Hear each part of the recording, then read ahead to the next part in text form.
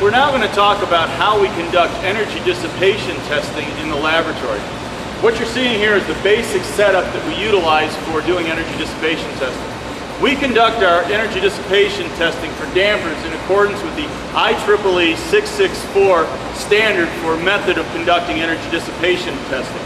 Now, both the Australian standard 1154 and the IEC standard for damper testing utilize the basic setup and guidelines uh, outlined in IEEE 664. So whatever energy dissipation testing you're really doing, pretty much all standards utilize this basic setup. Let's talk a little bit about this particular setup. Here you can see the damper installed at a set distance from what we call a rigid non-articulating um, clamp. Now this clamp basically is by being rigid, it minimizes any articulation and energy, energy dissipation, thus giving us almost a perfectly reflected wave.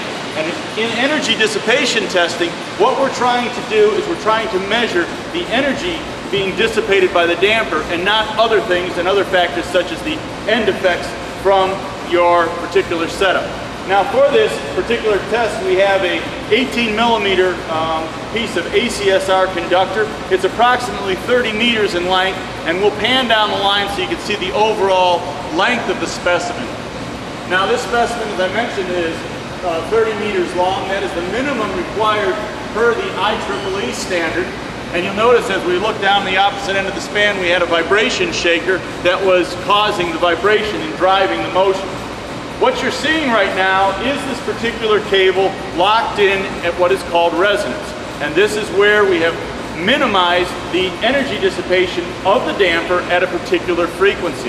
And one of the goals in all of the damper energy dissipation testing is locking in the resonance, and the resonance being the combination of the cable in conjunction with the damper. And the goal of a damper really is to disrupt resonance and dissipate energy. In other words, take out the energy that the wind puts into the span. Now for this particular setup, this is being done in accordance with the IEC standard. We are required to mount a device called a strain gauge at the locations of this damper clamp and also at our rigid clamp attachment. This is not required per the, IE, per the Australian standard 1154, but it is required for the IEC standard. Now, in this particular test, and right now we are, you can see we're vibrating the cable. We're vibrating the cable at approximately 45 hertz. Um, and that is one of the resonant conditions that would correspond to probably about a 4 meter per second wind speed for this 18 millimeter ACSR uh, conductor. And as you see, we have the damper, it is moving.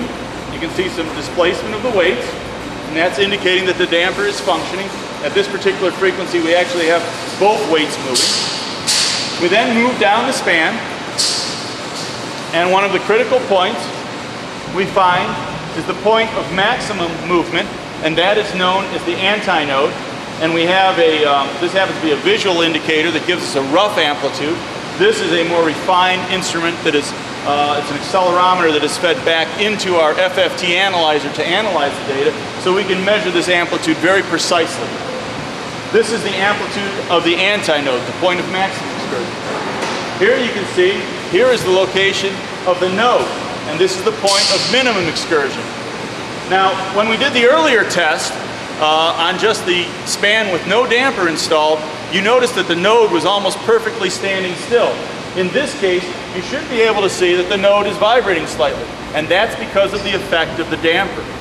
We'll now go down to the opposite end of the span, and we'll take a look at the instrumentation that we use uh, to measure uh, these two values of the node, the antinode, and the frequency.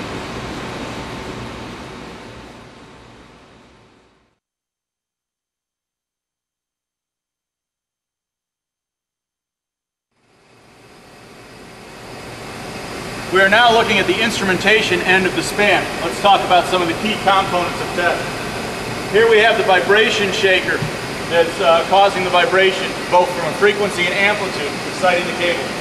Here we have another uh, rigid clamp attachment. This is to reflect the wave.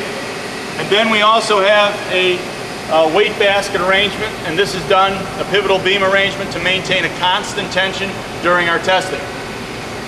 Here's the overall instrumentation uh, that the amplitude signals from the node and anti-node are being fed into.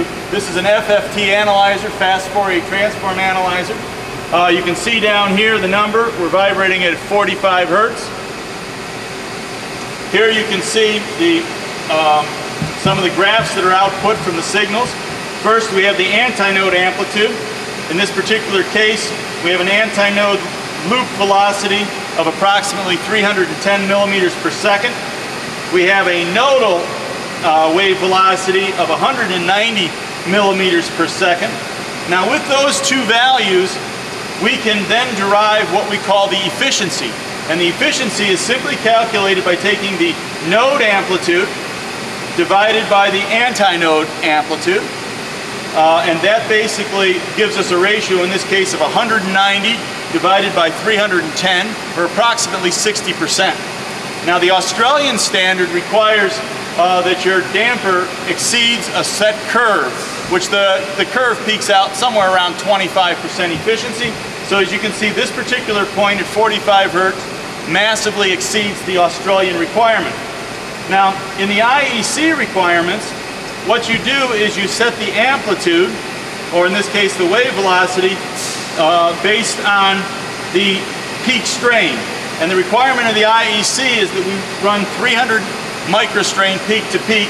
And as you can see here, this last graph is our strain curve, and it's at 299, which is basically 300 microstrain. So this test is running in accordance with the IEC standard, but with that data, we can also derive the Australian efficiency curve. Now, in the Australian standard, we do ask, uh, the standard specifies that we modify the amplitude to be equivalent to 67 over F, which would give an antinode loop velocity of about 210 millimeters per second. The Australian standard differs from the IEC by the requirements of what amplitude to set it at. But in the end, the results of the damper performance will be basically the same. We've tested to the IEC, we've tested to the Australian standard, it gives us the same basic performance. And here you can see how those are, eh, values are calculated. The, the Australian standard requires the efficiency calculation, but the IEC standard requires we actually calculate the energy dissipation.